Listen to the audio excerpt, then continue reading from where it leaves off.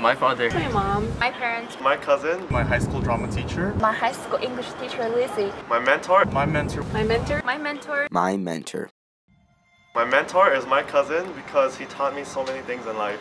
Through her guidance, she got me to where I am today.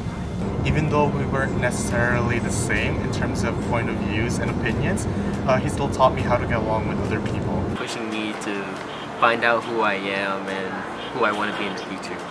They both put in their hard work day in and day out, and they are the definition of what the American dream is. Even when being a minority here in America, they overcome obstacles and they let me know that with hard work, anything is possible. She not only taught me English, but also helped me develop strong interest in language and culture. That's why I'm here now in the US and in this mentorship program. Everyone has their own stories to tell.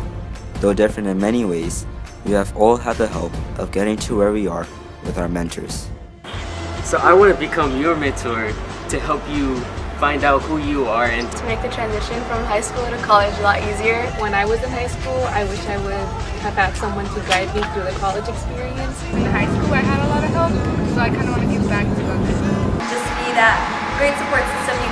I know when anxiety became a problem for me in high school, I didn't really know how to deal with it. I want to help you find the motivation that you need to finish high school and to provide you with assets that you need. I want to help you learn about college life and the majors you want to choose. I am fascinated with biology, and so if you're interested in becoming a doctor or a scientist or anything in the medical field, I'm your guy. And I want to be your mentor because being a first generation college student helped me realize how amazing college is and I want to help you get started on that journey.